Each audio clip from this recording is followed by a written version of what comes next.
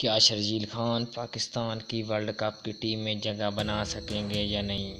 اس کے بارے میں مصب الحق کا اعلان۔ پاکستانی ٹیم کے چیف سلیکٹر مصب الحق نے کہا ہے کہ وہ شرجیل خان کی پرفارمنس پر بڑی گہری نظر رکھ رہے ہیں۔ شرجیل خان کی پرفارمنس کو بڑی اچھی طرح منیٹر کر رہے ہیں اور ان کی پرفارمنس بڑی اچھی لگ رہی ہے۔ خیر، وہ اچھی فارم میں دیکھ رہے ہیں۔ سو تو انہوں نے یہ فیصلہ کیا ہے کہ ہم شرجیل خان کو ورلڈ کپ میں پاکستانی ٹیم کے اسکواڈ کا حصہ بنائیں گے۔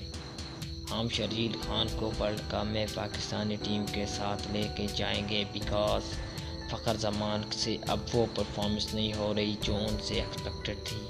اس کے علاوہ شرجیل خان کا پہلے بھی آسٹریلیا میں کھیلنے کا سکسیزفل ایکسپیرینس ہے۔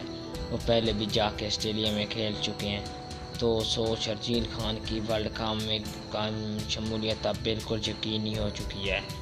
اب شرجیل خان پاکستان میں کی طرف سے ورلڈ کپ میں کھیلیں گے اور پاکستان کو ریپریزنٹ کریں گے۔ اور شرجیل خان سے اچھی پرفارمنس کی امیدیں ہیں۔ مصب الحق نے شرجیل خان سے امیدیں لگا لی مصب الحق نے اپنے نجی ٹی وی کے میں ایک انٹرویو کے دوران سے کہا کہ اگر شرجیل خان ایک ایسا ڈائنامک بیسٹ مین ہے، اگر ایسا بیسٹ مین پانچ چھ اوور سپر اوور میں کھیل جائے تو یہ بالکل گیم کو ایک سائڈ پہ کر دیتے ہیں۔ یہ بالکل گیم کو ختم کر دیتے ہیں۔ اس سے پہلے اگر شرجیل خان کی ماسی میں بیٹنگ دیکھی جائے، ان کی پابندی سے پہلے تو انہوں نے آسٹریلیا میں جا کے ان آسٹریلیا پرفارم کیا۔ اس کے علاوہ انگلینڈ میں جا کے انگلینڈ میں پرفارم کیا۔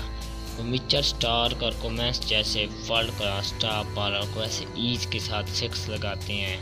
ان کے پاس نیچرل ٹائمنگ ہے نیچرل ٹیلنٹ ہے، وہ پیور ٹیلنٹ ہے۔ پاکستان کو ورلڈ کپ میں ان جیسے ایک ڈائنامک اوپنر کی ضرورت ہے بیکاز پاکستان نے دو ہزار انیس کے ورلڈ کپ میں بھی اوپنر کے نہ ہونے کی وجہ سے سفر کیا۔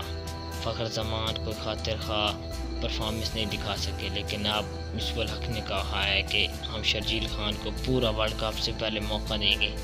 تاکہ وہ اپنی اصل فارم میں واپس آ سکیں اور پاکستانی ٹیم کو ریپریزنٹ کر سکیں اور ورلڈ کپ جتانے میں پاکستان کو ورلڈ کپ جتوانے میں بڑا اہم کردار ادا کر سکیں۔ This is W C YouTube channel please like and subscribe my YouTube channel